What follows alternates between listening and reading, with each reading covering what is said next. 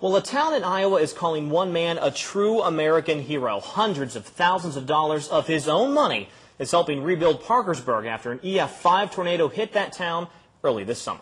FEMA and other disaster officials said it would take years to get things back to normal. But as ABC 6 News reporter Jackie Orozco explains, the help of this one man and his team made Parkersburg a living community once again. It wasn't too long ago when a tornado hit the town of Parkersburg and left piles and piles of debris. A lot of people lost their homes, some even their lives.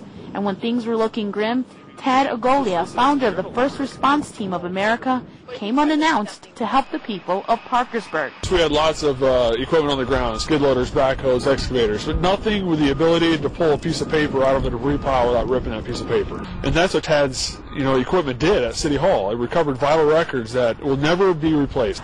Brick by brick, the community of Parkersburg is not only rebuilding their school, but rebuilding their spirits. One of our, our goals was always that we were simply helping heroes be heroes by providing them with the equipment and technology that they need for their community. The debris here was picked up in four to six weeks, all of it.